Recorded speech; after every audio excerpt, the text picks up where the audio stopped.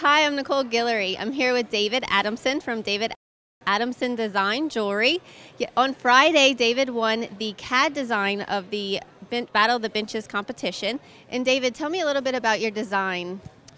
Um, honestly, I try to keep it pretty simple, uh, thinking that we only have two hours to complete it on Sunday, so I didn't want to make it overly complicated. And I was kind of looking at all the different pictures that she had picked when she was looking at the CounterSketch selections.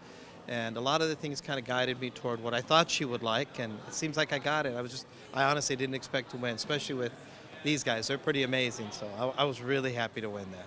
And what are you looking forward to today in today's competition? Um, honestly, this is what I like to do. I like fabrication, handwork. This is what I grew up doing. Um, I have no idea what we're going to make yet, so it's, it's still a blank page.